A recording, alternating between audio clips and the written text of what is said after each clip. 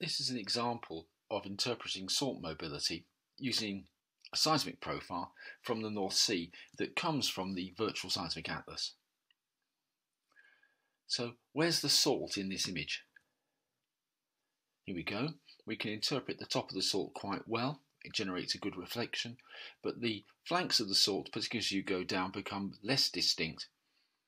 And you can see that as you approach the edge of the salt as I picked it, the amplitude in the seismic reflections dims significantly and these are common imaging problems around salt. So let's build an interpretation of this. I think it's useful to start shallow and move deep. So let's pick a shallow package across here, which we can see is bulged across the top of the salt bodies, like this. Slightly increased thickness in the synclines adjacent to the salt. Let's keep moving down.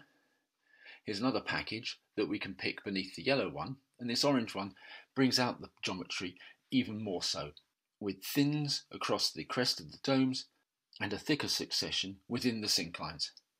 Classic growth strata, and we can see within the orange package the internal reflectivity onlaps the salt body.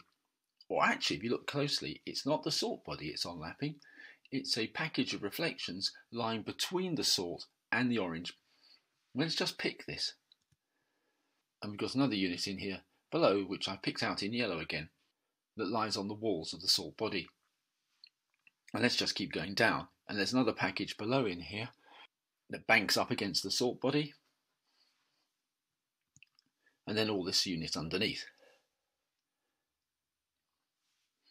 So a series of units in here built up around the salt.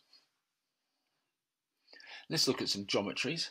We've already picked out some reflections in here, but you can see that the package of reflectors in that upper orange unit onlaps the yellow, which forms flaps along the walls of the salt body.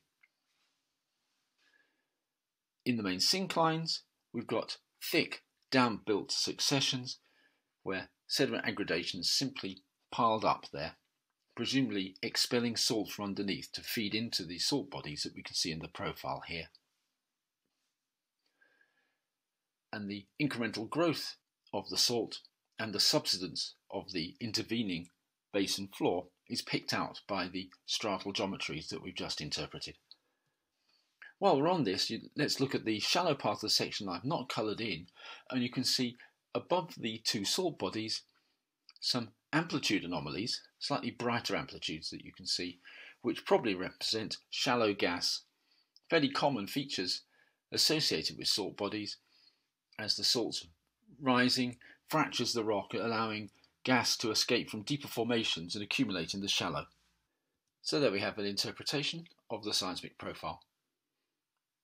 Following a workflow of working shallow and moving progressively deeper in the stratigraphic section, building understanding as we go.